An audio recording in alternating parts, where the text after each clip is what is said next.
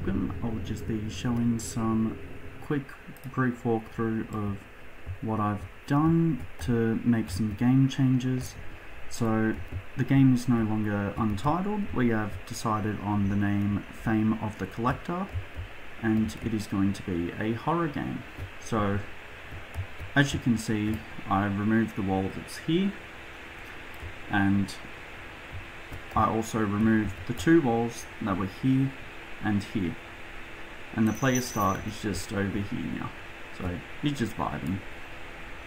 So if I press play just in this one, you'll notice a few subtle things.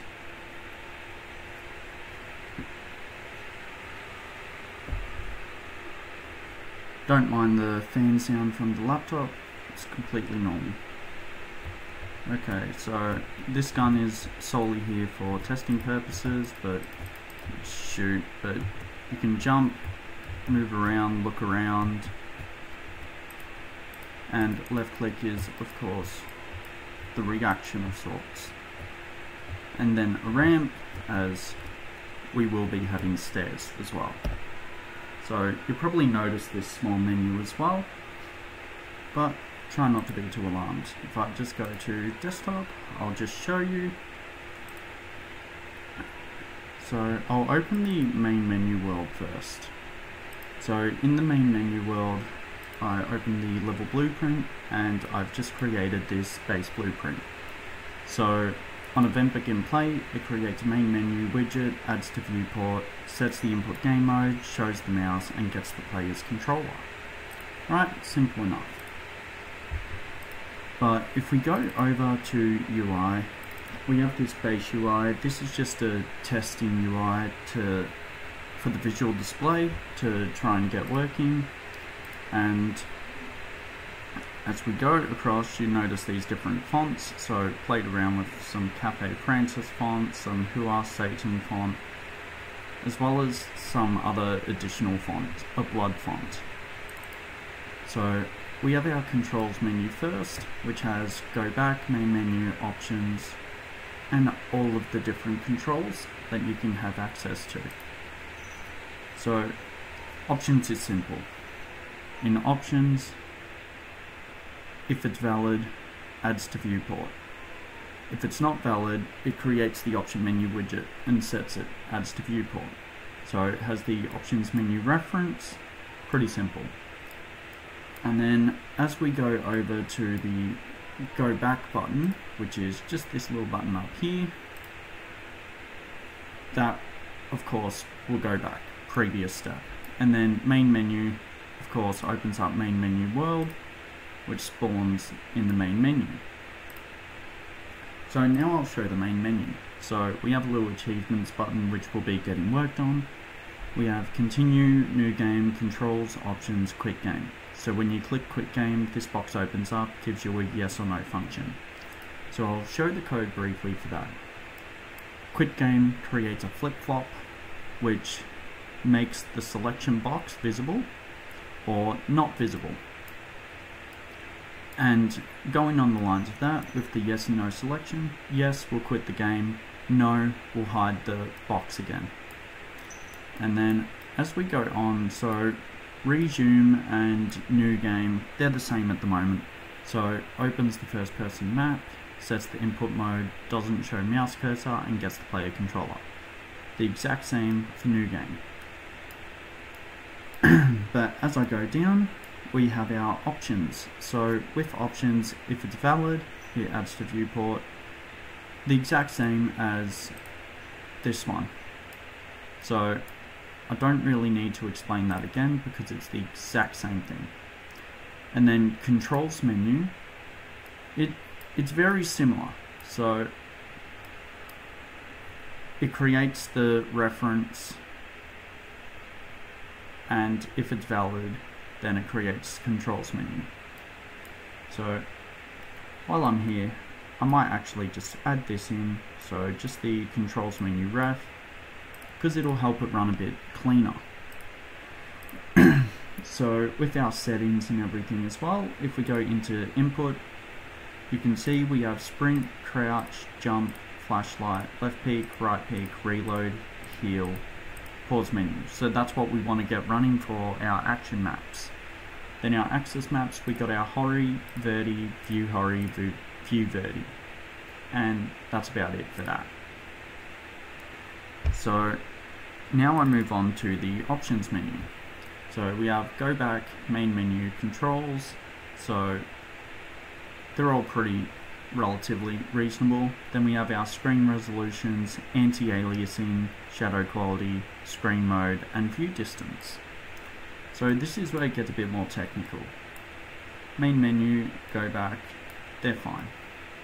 And then anti-aliasing, we've had to enable console commands. So it executes a console command to change certain functions within the game. And that's the same with a resolution. So for the anti-aliasing you'd go r dot post process AA quality. And with screen resolution you go r dot set res space and then whatever resolution you want to use so I have 720 by 480 1280 by 720 1920 by 1080 and 2560 by 1440 and then with view distance this changes how far you can see so it's just r dot view distance scale space 0.4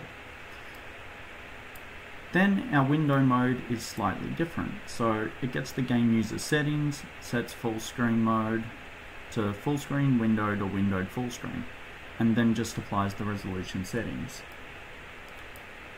and then the controls menu exact same as earlier but then as we go on to our shadow quality, so it's sg.shadow quality 0, 1, 2, 3, so forth. Pretty simple. And this is all it looks like. So these images for each one as well, they're all custom made images for this project. So now the final thing that I've done for the moment is just setting up some base controls. So this is just the old code which I'm not going to use because this is the code that came with the BP first person character. However, I've set up pause selection. So it has pause menu. If it's valid, then it creates a branch. If the branch is true, remove game paused. So yeah, it has quite a lot of adjustments as you can see if it's not valid pause menu widget it sets pause menu widget but it all goes to branch verifies whether the game is paused or not gets the player's controller shows cursor doesn't show cursor. So it varies. We'll also be setting up a interact. Um, we have left right up and down. So that's just moving left, right, backwards and forwards. Uh, jumping slash double jumping, so when pressed you jump, when released you stop jumping. Pretty simple. And then sprinting function, I do have to adjust the sprinting function as it's currently not working because I have not set it up properly yet. Then we have our left and right look X, Y, or up and down. So up and down is of course your yaw. And then left and right is your pitch. So don't need to worry about roll. And then with the strafing, you have your left peek and you have your right peek. So pretty simple. Then as I go across a bit more, we set up a flashlight. So the flashlight has a flip-flop fun function. If it's pressed, then the flashlight turns on and if it's not pressed then of course the flashlight turns off. So I'll just press play to show you a basis with it. It might run a bit slow on this computer but I can still show. So I'll just go into the options first and I'll go 1920 by 1080. So you can see this is full screen. Um, go back I can click continue because it will be the same thing. So it's just this map, same as before. But I'll just show you. So F for flashlight. We got to adjust the strafing as well. as I haven't fully set that up properly yet. But we do have a pretty flashlight. I feel like that flashlight is enough. You press escape and you go into pause. You can restart, put you in the same spot. So if I go over here and then restart, I'm back here. But I'll show you that it actually does work. So if I go there and then click resume, see, it's fine.